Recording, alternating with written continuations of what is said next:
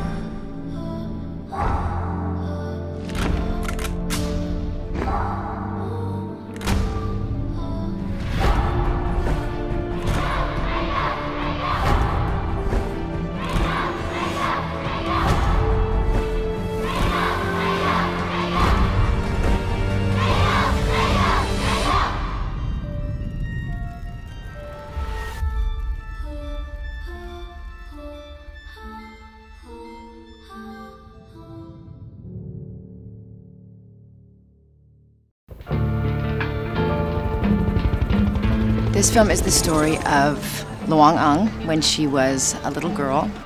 It's her experience during the war. And Loung is a dear friend of mine who I met over 15 years ago. Reading her book taught me a lot about this country. So, in a way, I'm doing this for her, for her family, for Cambodia, and very much so also for Maddox. So he learns about who he is and knows who his people are. This is a story of not just my family, but it's a story of a nation. I wasn't going to trust it to anybody. Angelina, je crois qu'elle a une relation assez spéciale avec ce, ce pays. Elle ressent bien des choses, et donc du coup, ça devient très, très intéressant en tant que producteur en guillemets de projet. Maddox has been working on this since the beginning. He's in the production.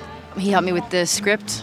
And it isn't just because he's my son, it's because this film is through the eyes of a child, and um, we've all had to open up a little bit more and be like children. I didn't want to see a child go through war. I wanted to know what a child felt and what they focused on, what they saw. Très très important pour moi que ce film existe.